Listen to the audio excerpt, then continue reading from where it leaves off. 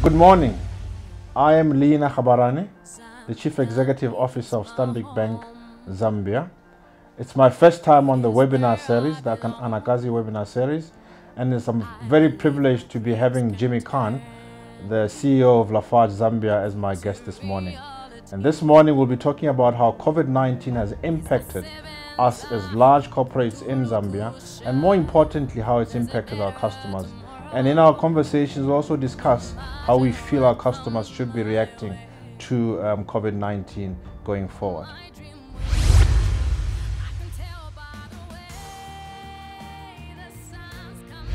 Good morning, Jimmy. Good morning, Lena. Yeah. You and I have been talking over the phone for quite some time, and it's actually a pleasure for me to be seeing you in life this morning. And I, it's good to see that you're doing very well and looking very healthy. Thank you, Lena. Jimmy, thank you very much for agreeing to be with us on the Anakazi series.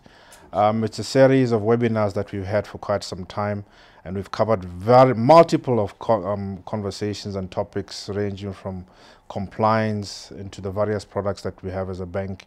And I think this morning's conversation will be very interesting to our listeners. Great. No, thank you for having uh, Yeah. thank you for having me here, Lena. It's a pleasure. It's a pleasure.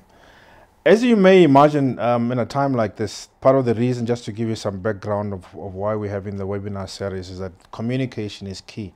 And any form of communication, I think, will be most appreciated by our stakeholders, by our customers, and more importantly, communication that can add value to, to what our customers um, are seeing.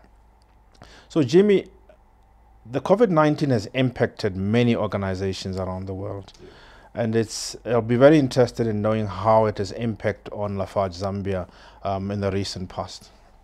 Sure. Okay, Lena. First, thank you for, for hosting us here and, and creating this uh, this forum for us to discuss.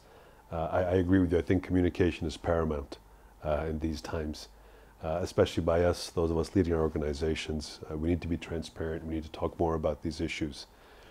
So first, you, you know, Lena, before we get into the details, I I have to. I really want us to emphasize that COVID nineteen is real. Mm. I still go to certain communities and certain areas where people have the question, Jimmy, is this real? Is it really happening? Is this an issue that we need to be concerned about? And uh, and I know you agree with me. I think we can't emphasize enough. It's real. Mm. It's here. Mm. It's affecting us, um, and we have to be conscious of it. Doesn't mean we have to stop our lives, but we have to be. careful. We have to do the masks, the social distancing, as you and I are doing right now. Um, washing of hands, using sanitizer, uh, you know, even in our homes with our families and, and guests and close members, we still have to be careful. Um, uh, it's been, um, you know, it's been a life-changing event for, for the for the planet, um, and I think we need to accept the reality that it's here. So I think that's the first thing for me that's been really critical for us to communicate in our organization, um, because when you start to see things go back to normal, you start to get comfortable. And it's such human nature just to get relaxed. Um, so, so first for me, Lena, it's just to emphasize the fact that it's real, it's here, and we have to be careful. Absolutely.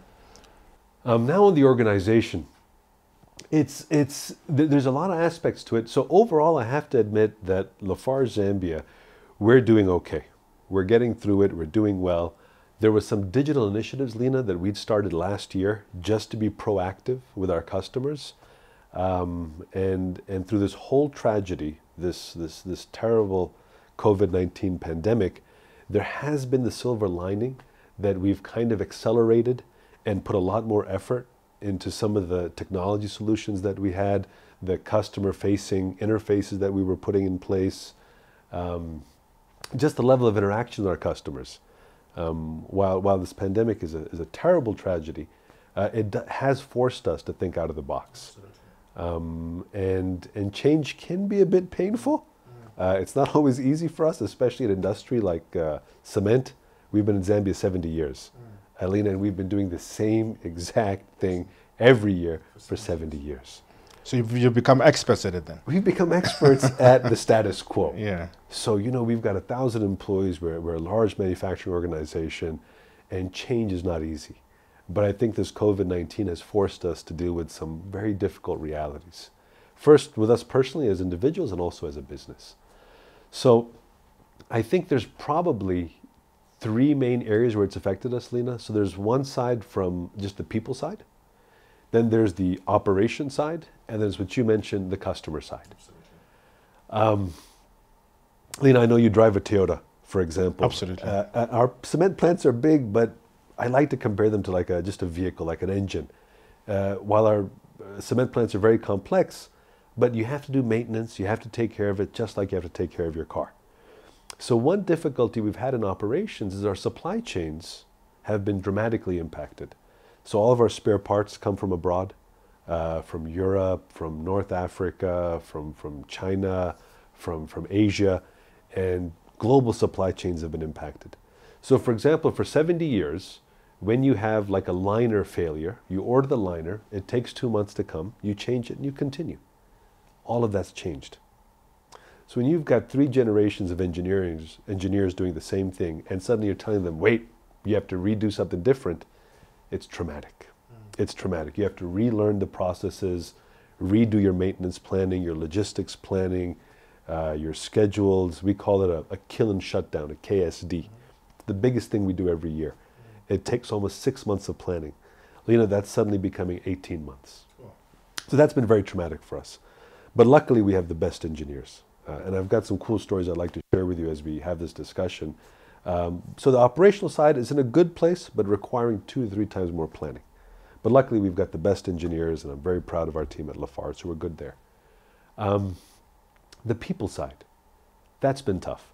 So, uh, you know, I know you've worked abroad and, and, I'm from the US. So we're used to working from home. We have these like uh, internet solutions and technological solutions to work from home hasn't really been a staple for us in Zambia, I have to admit. So this is some of the positive stuff that COVID-19 has forced us to create these working from home solutions. Um, uh, but we had difficulties in like load shedding. So you have an employee working from home, they lose power. What do they do? How do they join the meeting? How do they uh, get in contact with you? They lose their router, their desktop. So it's really forced us to start thinking of kind of out of the box solutions like do we start providing inverters generators just laptops. For your employees yeah. For your employees. Do they just use mobile phones? Mm. should we i mean imagine going away from laptops and just using mobile phones.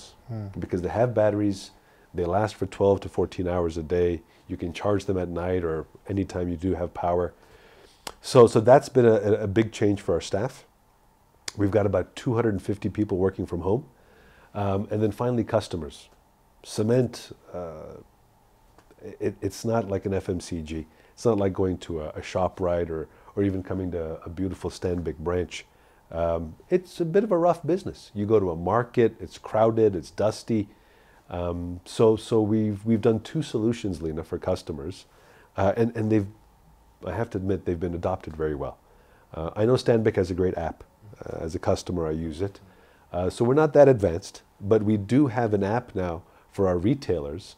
Um, so these are the bigger stores like Briozzi, Sikaza, ET Blocks, where they can uh, access their entire account, put an order in for the cement, and this is very non-traditional for us. They're used to calling somebody or picking up the phone. So this has been adopted very well. So almost 50% of our orders now are going through this retail app. Really? It's within months, mm. within three or four months, oh. it's dramatically increased. Mm. And when you're selling about 1.2 million bags of cement a month. That's a lot of orders yeah. to, to go through this app. And second, we've partnered with a local uh, Zambian company, Afro Delivery. I think I was mentioning this. Yes, you, you did. Yes, ago. yes, you did actually. And and it's really simple. It's actually a food application. It was never meant to handle products like cement. And I remember when we went to the CEO of Afro Delivery and said, "Hey, we'd like to put cement on your app," and you know, he looked at me a little bit funny, and I you know, I said, "You want to try it? What do you think?" and he goes, "Okay, let's see. We, we'll have to reprogram some things. We'll have to create a new interface, but let's try it." Hmm. And, and and and Lena, we're delivering cement to customers within 90 minutes now. Wow! And it's also been adopted very well. I think we've we had a target to do 500 to 1,000 bags a month. We're doing about 500 bags every three to four days. So it's really been adopted well. People are accepting it. It's uh, so we're happy to see that. So I think those are probably the three levels that we've been. No, very interesting. I never thought um, um, cement as a product could be actually distributed digitally. So it's very, it's very interesting that what digital can do, digital innovation can do. It's really helped us. Lena. Have you experienced some kind of similar changes in, in Stanbic with COVID 19 coming or? Oh yes, oh yes, Jimmy. Um, absolutely. Um, um, I think banking, um, as you'd imagine, is probably right at the nucleus of any economy. Absolutely. Meaning that if anything, if there's any chill in the economy, we tend to feel the cold first. Clear. And we have been impacted in quite a number of ways, and I think very similar to yours, in that we had to deal with the customer issue. Mm-hmm. We also had internal issues with respect to staff. Not so much operational because we've also really been a digital business for so long and there's very limited supplies that come into the business. But having said that, we've got vendors as well that we need to depend on.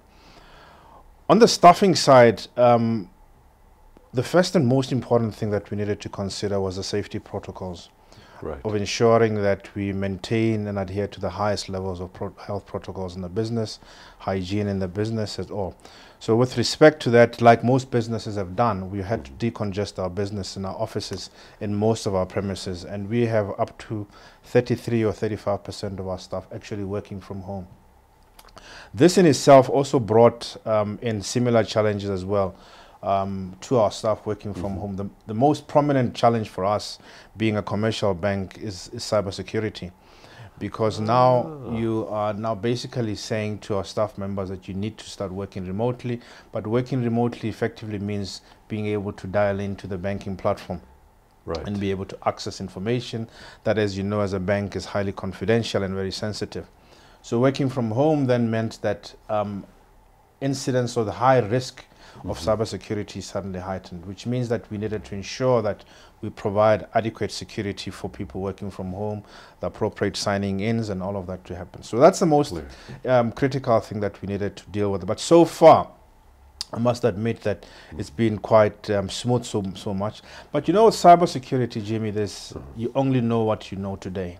Um, the, the the the fraudsters are out there working twice as hard as you are You're to right. break into your system. You're right. Um, so that has been fairly well done. But the second challenge is very similar to what you said, which is power. Um, the inconsistency and unreliable power that we've had. Now you have to rely on, on, on a third vendor, which is now electricity providers. And that has been very disruptive. And so has also been the limited um, bandwidth um, in terms of internet Oh, capability. That's a big problem, Lena. Um, That's a big and, problem. and we tend to, to carry large files. We need to tend to carry quite a lot of information, and that Mm-hmm. instability also created a big problem for us. And therein also emerged another cost that we had not anticipated um, a cost of having to provide um, subsidies for our Mm-hmm. staff for electricity support. Same here. Uh, we needed to provide subsidies for our staff here. members for things like bundles that we had not pro- previously provided for.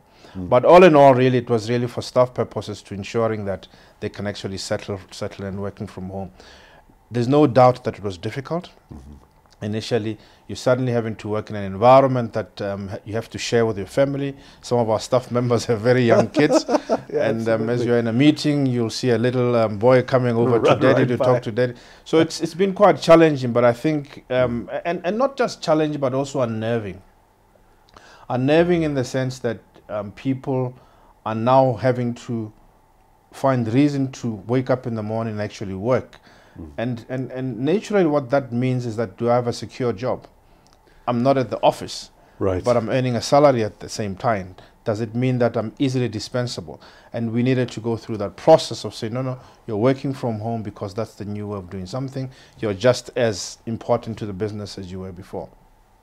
So that kind of psychological support was important to provide to our staff. Um, the second element is, is exactly the same as yours, which is our customers. Interestingly, even with the advent of um, digitizing and technology and innovation and all that, Yeah. a lot of our customers still prefer to have physical banking relationships, in contact relationships. so it's traditional, a bit like cement then. Absolutely. okay. So you want customers prefer to still go into the branch, Mhm. deposit money over the counter, and then that gives them some form of security that I've actually provided um, um, money to the bank, and I've done it. You know, they don't trust our our um, deposit machines. They don't trust our ATMs. They prefer to do it okay. to the counter, and that's actually the reason why you still find queues in the banks, in the banking halls. You find queues in the banking halls because people prefer to withdraw Mhm. and actually make deposits over the counter. But we've been able to deploy and actually push quite a number of our customers into the digital um, platform. And thankfully, as well as Stanbic Bank, we've been in the forefront of investing in innovation and digitizing, and that has really started to really start to to give the returns that it was um, intended to do because quite a lot of our customers are on it. But again, you know, pushing our customers into the digital network then brings in another element, and the other element is that you then need to have the, the system stable and secure. Yeah. And the stability of the system now, the digital system now depends on other vendors as well. You're so right. it's, it's brought in quite um, a, another challenge as well to us. Um, the third point as well with respect to customers is customers are also under a lot of stress.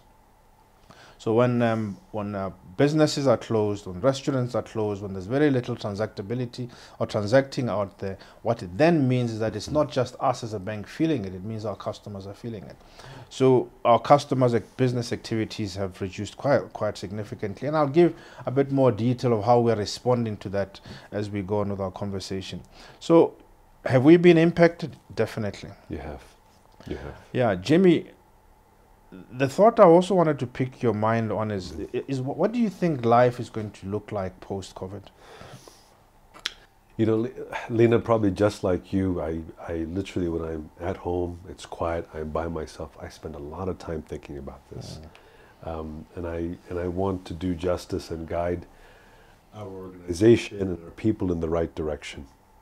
And I think in the beginning, even me, there was some resistance hmm. that this is just a, a flu. Everything's going to be fine, hmm. and we're going to go back to normal. Hmm. I think that was probably in the first few weeks when it was largely probably in Europe. I think Africa hadn't been affected. America had really not even had any cases. China was kind of winding down, and Europe was, you know, ballooning a little bit. And it felt like something you'd see on TV just far away. But I think, Lena, uh, with what's happening in, in North America, with the second wave in, in China, with, with Europe still not stabilized, and our numbers in Africa rising dramatically, I, I think we've come to terms with the fact probably about a month, month and a half, very recently, just six weeks ago, that that we kind of get stuck in what normal is, Mm. and we kind of create these preconceived notions, and we have to break that, Absolutely. especially in an old industrial business like cement. Mm. But you know, I think banking is very similar. Very similar. When you talked about your customers, Lena, where they have to come in, Yeah. that really resonated mm. with me because that's what we deal with. Mm. It's just difficult to break those habits. It's so ingrained in how that relationship is, it's difficult to change. But we've been focusing a lot on that, Lena, communicating very frequently with our teams. It's not going to be the same. Absolutely. It's just not going to no be way. the same. Hmm. And the sooner we accept that, the sooner we come to that reality is how we're going to get out of this in a very positive way. And I think a lot of it's about mindset. It's, Lena, we still have social issues where this weekend we went to somebody's home who had an ill family member. So I went and some of our staff went, and we were the only ones wearing face masks, for example, Oh. Lena. Yeah. We were the only ones wearing face masks. And we even felt a little bit of stigma that they were looking at us that, why are you coming to our home With wearing mask masks? Yeah. Now that's a very small version, but this is the change I'm talking about. That Mm, we need to kind of come to terms with the fact that things are going to be different. We need to accept a different operating model in our personal lives and our business lives. So, Lena, all the planning that we're doing, those three factors that I mentioned internally from a manufacturing perspective, from an employee perspective, like working from home, uh, and a customer perspective, a lot less face to face interaction, that's going to be the new norm for us. Hmm. And we need to create mechanisms to support hmm. that new reality. Absolutely. Even the benefits that we offer, Lena, for example, the benefits that we've historically offered employees have been for employees working at the office. So, how can we make it easier? We'll pay for your fuel, hmm. we'll give you a car. But if you don't have to come to the office anymore, Just give you something else. We need to change that. So it, it's really going to require a paradigm shift, even at a management level, to get away from our traditional thinking of what benefits we're offering, working hours, flexibility, uh, like you mentioned, internet. I mean, Lena, how many meetings have we had where the efficiency drops so much because somebody can't connect. You're like, can you hear me? No, no. Can you can you hear me? Switch off your camera. Switch off your camera. It's just so, Lena. I, I think we're in a good place. I think we're changing. I'm, I'm so proud of the Lafarge team. They've really stepped up uh, and accepted this new reality, but we're still figuring out what it is. Okay. I think uh, it's going to take a few more months for us to get there. Yeah, interesting. I, I think if I was to just maybe just give our perspective of what we think life will be post COVID, Uh-huh. um, there, there's no doubt that um, the economic um, environment will be significantly hurt. Yeah. Uh, we will see um, not just um, in Zambia but globally a lot of business closure. Um, we can see already in the region that not not just in the region actually, um, throughout the world, um, air travel is significantly impacted. So we then need to start thinking about where we need to be, um, you know, where capital needs to be going to, particularly because that industries that are going, other traditional businesses are going to be changing quite significantly. So if you talk about how life would be after COVID, now looking at um, some of the property and real estate that we have um, across the country, across the globe, that is actually occupied by people. Um, we suddenly now in Stanbic um, have far fewer people coming to the building Sure. um, on a daily basis because of what I mentioned earlier, where we have quite a lot of our staff members going to work remotely. Um, so remote working is going to be a reality. We're going to be introducing flexi hours, as we've said. So with so fewer people um, coming into into the buildings, we're now starting to think if we really need all this floor space. And, and, and I don't You're believe right. it's Stanbic Bank alone thinking about the, all the floor space that it requires, but it's going to be everybody to say, look, I've got a, a third of everybody of my staff members working from home. Um, do I really need this um, this much space? Which is a worry in itself. It's a worry because there's so much capital tied up in, in Of real course, estate, and we need to start rethinking about how do we then use the real estate? Is it going to be used predominantly for office um, operations, or is it going to be now used for actual um, residential accommodation? Because now, with more people working from home, Yeah. um, you'll need more space at home to provide for your working space, and you might just start to see a convergence of of real estate, um, retail real estate, starting to be more into um, into into residential. At the working level, um, what we are seeing today is going to be the reality, because it just might be COVID today, yes. but what COVID has taught us is that the virus spreads because of social interactions and how we communicate with one another, Yeah. how much discipline we have, our personal hygiene, and all that. So, in my view, whilst humanity might go through this and Yes. find a vaccine, we will learn that another another virus is going to come out and will continue with that mindset. So, very similar um, thoughts as well with respect to how um, our lives would look post COVID. Uh, Jimmy, um, as the old saying goes, um, never waste a crisis. Um, and, Right. and I don't know, would you would you Yeah. would you believe in that? I mean, is there any opportunities that uh, that you see coming out of this um, COVID crisis? Yeah, Lena, I, you know, I'm going to piggyback off something you said in, in your previous comment. Uh, you know, you started talking about real estate and utilization. Um, I, I called you about this, I think, a month ago. Um, and by the way, thank you. You always call me. You see how we're doing as customers. You always check in, and I really appreciate that. You. And there's some value because the last time we spoke, you said, Jimmy, how's business going? And I said, Lena, it's actually going. Cement is selling. We were surprised that we were doing as well as we were, and we had a discussion about that. And, and we've been spending more time with our analysts and looking at it. And what's happening, Lena, is it's, it's some of the things you mentioned about what do you do with space. It doesn't mean that if you're not using it for one purpose, Can you use something else? used for another purpose. Um, so what's happened is, in, in my specific industry, uh, we're seeing that the larger projects, yes, they are stopping. Some of the government-funded projects have been stopping, and we thought that we were going to be in a bit of a crisis. But what we're seeing, Lena, is that individual home builders, people like yourself, people like me, uh, people like the gentleman uh, behind the cameras that are being operated right now, they're sitting at home they're working in a kind of a flexible situation, but they're looking at what to do with their money. Mm. And maybe some of that disposable income that they'd be using for maybe some kind of social interactions are now being redirected to something solid, Absolutely. something you can kind of touch and put your hand on. Absolutely. And, and cement is one of those products. Inflation hedging. Inflation hedging, mm. absolutely. Mm. It's almost an investment. It is an mm. investment. It is a solid investment. Uh, so we're seeing that the retail segment of our industry has almost doubled. Interesting. Um, so, so that's been, I think, not positive per se. It's of course sustaining our business, but that started opening our eyes, Lena, that there is opportunity here. Um, not to be from a selfish perspective, but now that we're seeing that maybe bigger projects are going down, what So can we do for side. exactly individual home builders? So, Lena, we've been talking the last month at the office. We're planning on probably releasing a new type of cement. It's called a mortar cement. Mortar cement. A mortar cement. Okay. So you don't use it for structural work, but you use it for your bricklaying, you use it for your Oh, finishing products. So it's going to be more affordable because we need to kind of contribute on some level to the economic difficulties a lot of our customers are having. Is this kind of to complement the losses in the large infrastructure projects? It is, Lena. It's to kind of create almost a new portfolio Okay. with what's changing in the market. So if we're seeing a movement towards retail and individual home builders, let's start producing products that specifically cater to that audience. So again, it's these really smart engineers at the office, far smarter than I am, mm. Lena, and I'm very lucky that we have them. But they've come up with these really um, uh, new ideas on products. So it'll be a lower cost for the end user. Um, it'll, it'll make it easier to do the work itself. Uh, it'll reduce their financial burden on construction.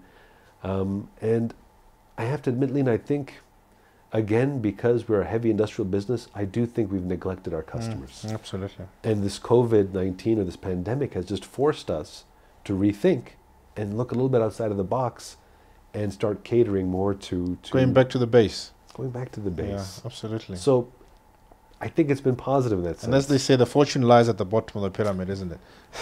it does. Yeah. It does. And it we does. tend to focus on the top of the pyramid. We need that reminder. Absolutely. Lena, how about yourself? Are, are you seeing also some opportunities from your sector in COVID 19? Yeah, yeah, Jimmy. I mean, we, we as commercial banks, specifically Stanbic Bank, play a very important role in the economy, which is to ensure that we distribute capital to where we need it needed the most. And what we've suddenly seen is that the reallocation of capital is starting to look for new for new home. The Right. traditional allocation of capital, where it was going to, is starting to starting to ask questions. As I said earlier on, um, retail, um, sorry, real estate is starting to be questionable and so forth. But there's because of that, there's an emergence of new industries. You know, there's Right. suddenly a big demand for public sector health. You know, there has not been sufficient investment into the to the public sector health, and we need to really start to investing in the public sector. Yeah. I mean, the reason we all countries across the across the world are really working on flattening the curve Mm. is because there's just not enough beds in hospitals to accommodate everybody. So the the question then is, shouldn't we be investing in more um, of the health sector? That's certainly an opportunity that we see that has not been explored. We're seeing um, an increased opportunity in masks. If anybody came to the bank um, three or four years ago and said, I wanted to set up a factory to manufacture masks or sanitizers, we would have said, um, no, Sure, sure, of course. we're not going to support that. Right. But um, somebody coming in now Yeah. and talking about PPEs and masks will say, by all means, we want to support that. So, so the opportunities that we're seeing is really from the emergence of new, new sectors that are coming in, and that's where we're starting to redirect a lot of the capital to. But another opportunity that that we saw, um, um, Jimmy, is that with the border closures, and I think you mentioned it earlier, const- the constraints in logistics Yes. um, it, it just suddenly brought to bear or to the reality that there's actually a lot more imported into the country than we're actually exporting. We're exporting very little and importing a lot. So the opportunity then is to say, how do we start to drive the manufacturing sector in Zambia Yeah. to start to bridge that gap of what is being imported. We need to get to a point where there's self-sufficiency in most sectors and most products that we're importing in because a lot of the products that we're coming in Yeah. can actually be made in Zambia. So as financial institutions, our responsibility is to start to ensuring that capital actually flows to where there's a need and that need is in ensuring that we close that gap. Admittedly, we can't produce everything in Zambia, Right. but certain things we need to be able to produce. That's an opportunity Great that point. I will say to our customers, we need to start looking for that gap, Mm. and financial institutions must support that opportunity. Jimmy, I believe we are running out of time. Sure. Um, so what I want to just quickly say yes. is um, talking about um, your culture. How's your culture being impacted? Stuff. So, Lena, th- and, and this is still evolving. Uh, the, the, the culture part, how we're relying uh, on corporate partners and friends. For example, something that we never did is now we're partnering much more with Stanbic, Zambia Breweries, Zambia Sugars, just to assist in the medical field. Uh, Lena, just recently, I think it was uh, Stanbic, ourselves, and Zambia Breweries, where we donated 100,000 kwacha because we came together to build a local ventilator at the University of Zambia. And I think these initiatives wouldn't have happened previously. Yeah. So I think it's really forcing us first to, to not be as selfish, to kind of start looking a little bit outwards and partnering more uh, with partners. And, and I think that culture of communication, of, of partnership, of thinking outside the box, it's not traditionally part of cement, Lena. It's just not. We're a heavy industry. We're self-enclosed. We usually don't need anybody, and we're reasonably successful globally. Absolutely. So this has really forced us to start partnering more. Like Lena, for example, you mentioned uh, the medical industry. That clearly there's a deficiency there. There's a shortage. Absolutely. They need some help.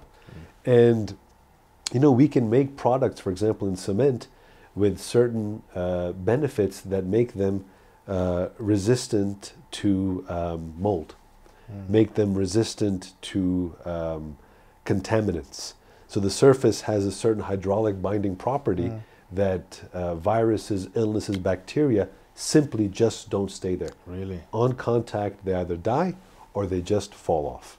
Really. So we built this kind of product in Mauritius. Mauritius is a very humid country. So we built a specific product there to deal with that kind of environment.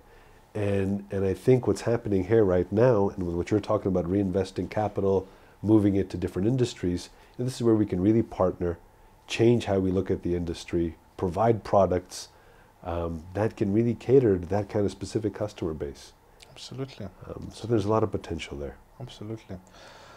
So I think for us, really, I think from a, on a culture perspective, it's it's really more to say how do we continue to live our culture as a bank. We want to really promote um, high performance culture, Mhm.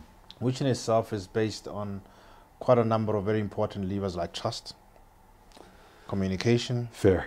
um, just basic sincerity. Mhm. All those tend to work best through physical interaction. They do. I tend to be able to trust you more when I see you Mm. and I know that somebody else has picked up something or part of the process that they need to do that. So through that, um, we're certainly seeing some kind of breakages in our communication. People tend to be more comfortable sitting at home, and the only way we could try and keep pushing and upholding our cultural values is through communication, communication, communication. We have seminars, internal seminars, and meetings, all virtual Right. regularly. We force us, our teams to communicate uh, Mhm. um, through um, virtual interaction. I believe we are finished. We need to probably wind down. Maybe one last um, parting shot from you, Jimmy. Sure. Given the inflationary environment, given all that we've talked about, and given that you produce and distribute cement, Yes. what advice would you give to our customers? Lena, it, it's uh, obviously not that I have a bias, but I do sell a specific product. I do want them to support us, invest in us. I do think cement is a, is a reliable product, but on really on a human level, on a human level, what I've been really talking to about uh, our staff in the office, customers on the road, I have to admit it's not about cement. It's about personal responsibility. It's about financial understanding, robustness, and and being a little bit long-term planning. I don't think we do that very well, Lena. So we did a seminar recently at Lafarge for all employees, starting with the line managers, just on basic financial planning. How much are you saving? How what is your disposable income? Um, how are you managing the future? And Lena, to be honest, I, I really do think we have some of the smartest people working at Lafarge. Uh, but if you talk to a lot of our line managers, there wasn't more than a two month plan. There wasn't more than a three month plan. Uh, so with what we're seeing economically, I still think Zambia is the best place to be. I don't mean to speak poorly of any of our neighboring countries. I mean no disrespect, Lena, but Lafarge is in all of our surrounding countries South Africa, Zimbabwe, Malawi, DRC, Burundi, and great countries, but Zambia is stronger. Absolutely. We're in a better place, we have a brighter future, but it's just important that we get back to the basics that you mentioned and we start going back to those levers of financial responsibility. How do you plan for your family? How do you plan for your future? I think we're going to be just fine. I have, a, have to reiterate. I have a perfect solution for that, which I'll share with you. Please. Financial Fitness Academy. We will give it to all of our staff at Uh-huh. a time that I'll announce probably in the next two months or so for Really? free. Financial Fitness Academy. Absolutely. We'll take all your entire staff through it. I'm excited, Lena. Don't tell anybody. Okay. But I'll, I'll be your first customer. I'll be first in line. That is great to hear. Yeah, Jimmy. No, thank you very much for your time. I think it's been great. But as well, what I want to do is just echo your sentiments that we need to all take this um, COVID um, pandemic very seriously. We need to take personal responsibility for it. Um, our government of Zambia will do its best. It'll provide protocols and guidelines, what you should, what you shouldn't be doing, what uh, wearing of masks and hygiene. Correct. But at the end of the day, it's my personal responsibility for taking my own health um, um, safety cautions. Thank you very much. Thank it's you, great talking to you. Thank you so much. You. It's been a pleasure. Um, a very lengthy, um, very interesting conversation that I've had with Jimmy Khan this, this morning. I hope you also found it very interesting, and some of the tips that I think came out of the conversation would be quite worthy of um, exploring further. And thank you very much for your listenership. Have a good morning. Thank you.